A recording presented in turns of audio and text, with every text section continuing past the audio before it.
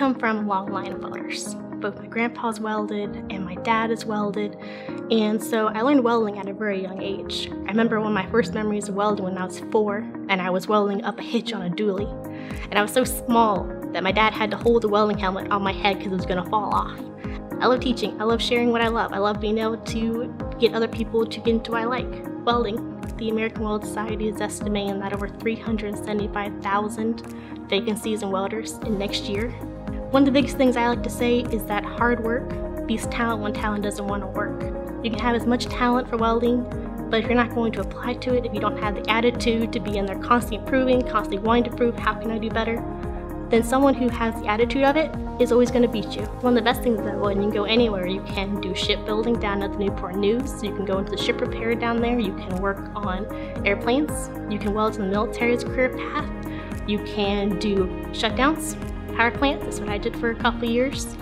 You can do race cars, you can work with Melfa Systems, you can do machine shop, auto body, you can do, there's so many different avenues you can do.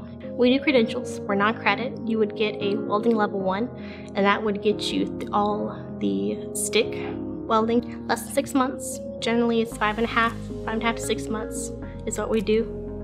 Um, it's on the weekends, Saturday and Sunday, eight hours each day. I try to make my class feel like you're surrounded by friends at all times. We're joking, we're laughing. It doesn't feel like so much as you're in a class, so much as you're a group of friends. I think that welding would be a terrific pathway to a job if you like to build things. If you are always filling your hands, if you love being able to see doing a project from start to finish, if you like being all portions of it, if you like being able to draw a design and seeing it become something. At the end of the day, you like seeing, say, I made this. I made this ship. I made this truck trailer. I made a, I fixed this farm equipment. I fixed this fork for a tractor. At the end of the day, well, you can always say, I did this. And it's never something someone take away from you, it's always something that you're always gonna have.